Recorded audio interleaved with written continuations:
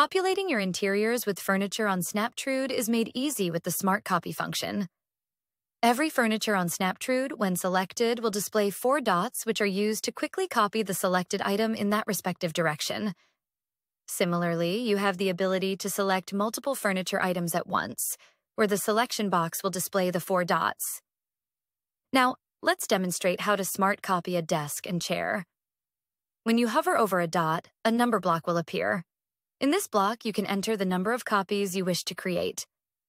Then, simply click on the plus sign or press enter on your keyboard. The number of copies you specified will then appear. You can repeat these steps to select and copy multiple furniture items. You can then easily manipulate your copied items as needed. You can repeat these steps to select and copy as many furniture items as you wish. Remember, hover over the dot. Enter the number of copies and click the plus sign to place them.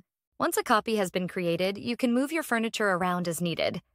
This method allows you to easily create copies of furniture for your project using the Smart Copy tool.